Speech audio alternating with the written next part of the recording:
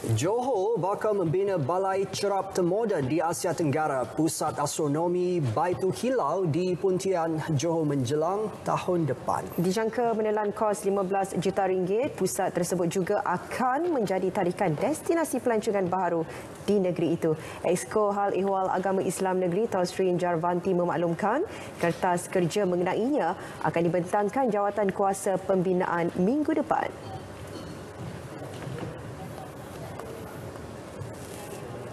Dari pengalaman saya ada kewajaran Johor untuk membina satu balai satu balai cerap yang baru iaitu Pusat Astronomi Batu Hilal Johor.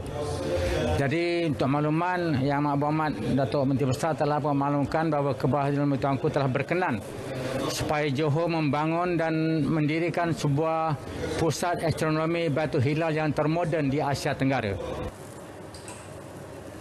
Selain sebagai pusat kajian astronomi serta pusat sains cakrawala, Balai Cerap yang dijangka siap dalam tempoh lima tahun menjadi rujukan para pelajar dalam bidang berkaitan.